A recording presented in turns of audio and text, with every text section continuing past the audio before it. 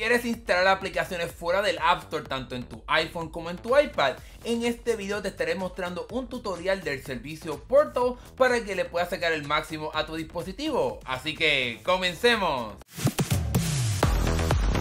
Lo primero que estaremos haciendo en este tutorial será ir a la página que te estaré dejando en la descripción de este video. Se llama Why So Furious. Y lo primero que tenemos que hacer es ir a la parte de downloads o descargas.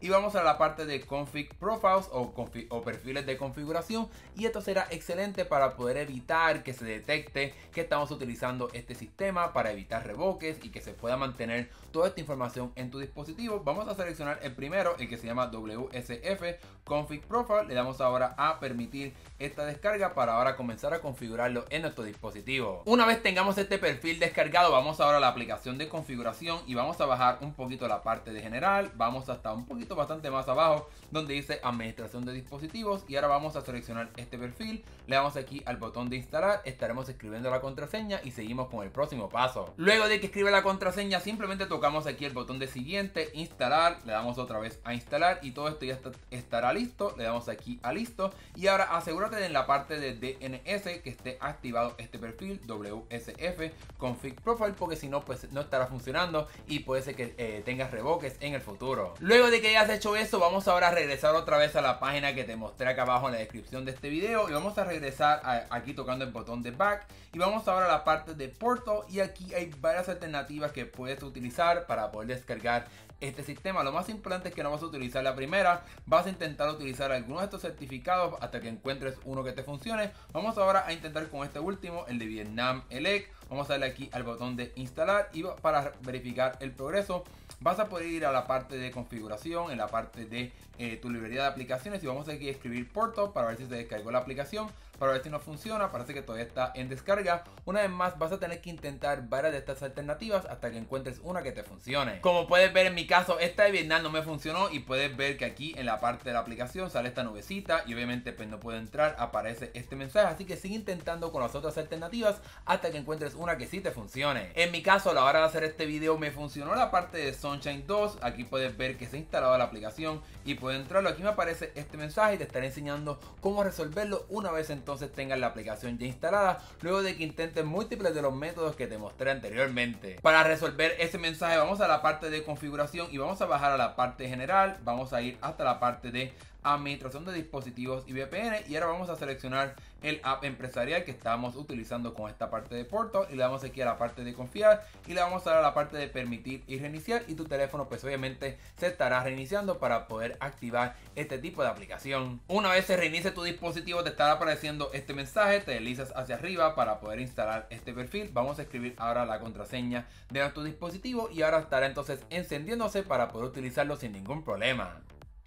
Una vez se reinicia el dispositivo, déjame enseñarte ahora cómo puedes utilizar este portal para poder instalar aplicaciones. Vamos aquí a abrirlo y te estará dando la bienvenida, mostrándote cómo es que funciona, cómo es que se ve. Lo importante es que vamos a darle aquí al botón de continuar. Te muestra si quieres utilizar el modo oscuro, el modo claro, si quieres utilizar otro colorcito, en fin.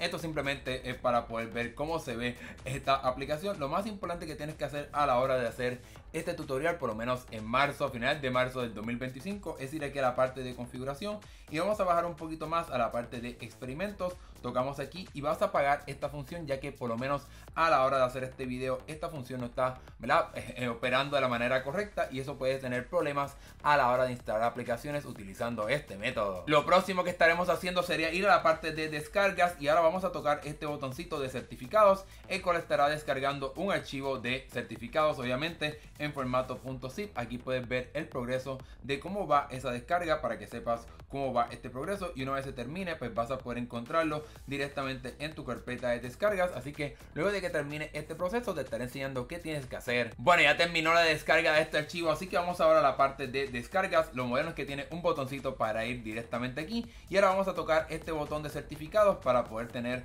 esa carpeta con los múltiples métodos que vas a poder intentar para poder firmar las aplicaciones. Una vez más vas a poder vas a tener que intentar varios de estos métodos así que ten eso en consideración a la hora de utilizar este método que puede ser que tengas que intentar varios que no te funcionen Luego de que tengas ya los certificados descargados y abiertos, vamos a regresar a la aplicación, regresamos a la parte de firmar, que sería la parte que está acá abajo, que se ve como un lapicito, etcétera. Y aquí necesitamos tres archivos, la aplicación que quieras descargar, te estaré explicando un poco más sobre eso luego en la parte final de este video, y dos archivos y la contraseña que estarás encontrándola directamente en los archivos que te mostré anteriormente. Vamos aquí a regresar para poder enseñarte cómo se ve la contraseña. Digamos que quieres intentar este de Sunshine, aquí aparece un archivo que se llama .readme, simplemente lo tocas y le das aquí el botón de vista rápida y vas a poder ver que el certificado, que la contraseña, perdón, es WSF, así que eso es lo que estarás escribiendo, como puedes ver es en letra mayúscula, así que vamos a intentar este primero, Sunshine eh, con el paréntesis 3,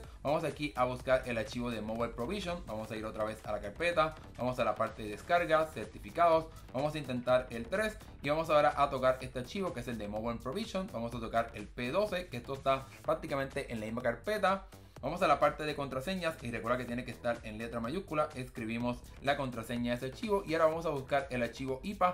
Luego, como te mencioné, te estaré explicando un poco más cómo encontrar este tipo de archivos. Voy aquí a buscar Delta, que es simplemente un ejemplo para que puedas ver cómo es que funciona esta aplicación. Vamos aquí a tocar el archivo Delta y ahora empezamos el proceso de firmar esta aplicación.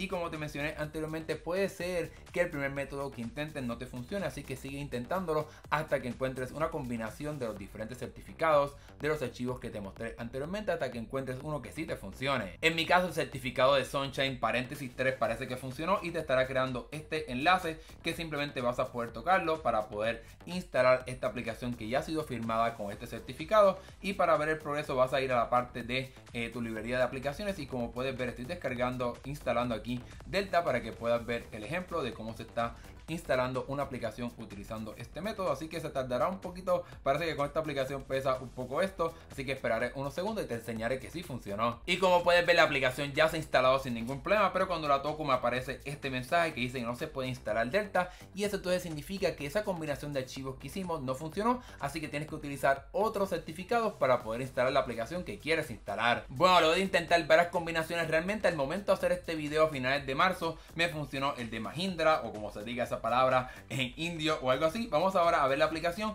y como puedes ver me aparece este mensaje de que no se puede confiar en esta aplicación, pero como hicimos anteriormente vamos a la parte de configuración de tu dispositivo, vamos a la parte general, bajamos un poco a la parte de administración de dispositivos y VPN y ahora bajamos a la parte donde dice Kotak Mahindra, tocamos aquí y ahora le damos al botón de confiar en que queremos utilizar este certificado y lo mismo que hicimos anteriormente tenemos que eh, reiniciar el dispositivo para que todo esto pueda funcionar sin ningún problema. Y bueno, luego de reiniciar mi dispositivo y hacer lo mismo que hicimos anteriormente con la aplicación de Portal. Ahora simplemente puedo tocar aquí la aplicación de Delta y como puede ver se ha abierto sin ningún problema para poder comenzar a utilizarla.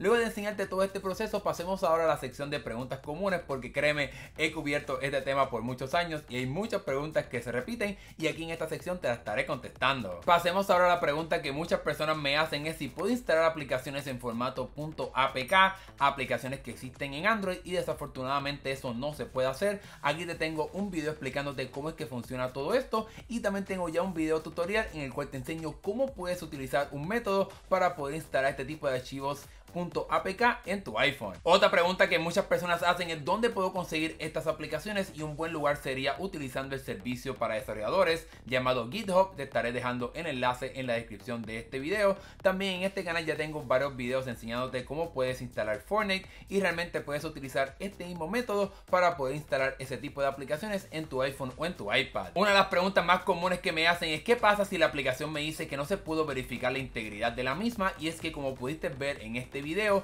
eso es posible que suceda cuando el certificado se pierde y deja de funcionar y de esa manera vas a tener que utilizar otro certificado, otra combinación de los que te mostré anteriormente o esperar que aparezca otro certificado, pero si no quieres estar esperando todo ese tiempo y estar dependiendo de certificados que se pueden expirar, aquí en el canal tengo varios métodos para que puedas explorarlos, que son unos métodos un poco más estables para que no tengas que estar peleando con este tipo de certificados. También las personas me preguntan sobre aspectos de seguridad, si se afecta la garantía de tu dispositivo y realmente esto no afecta en nada la seguridad de tu dispositivo, no afecta en nada la parte de tu garantía, etcétera. Así que puedes utilizar estos métodos sin ningún problema en tu iPhone o en tu iPad. Y por último, si piensas utilizar estos métodos para instalar, por ejemplo, emuladores como el caso de PlayStation 2, el caso del emulador de Nintendo Switch, desafortunadamente este tipo de método no permite la función de JIT que te permite tener un poco más de poder a la hora de utilizar este tipo de aplicaciones. Así que desafortunadamente esto no funciona para ese tipo de emuladores. Vas a tener que seguir las instrucciones específicas